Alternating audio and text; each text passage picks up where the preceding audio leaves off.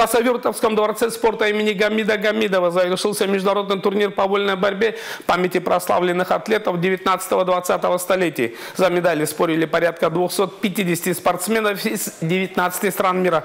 Дагестанские вольники выиграли половину медалей высшей пробы и стали чемпионами в пяти весовых категориях.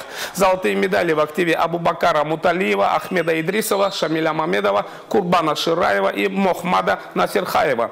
Также дагестанские борцы завоевали 4 серебряных и 10 бронзовых наград. Напомним, победители и призеры турнира получили по 150, 100 и 50 тысяч рублей за первое, второе и третье места соответственно.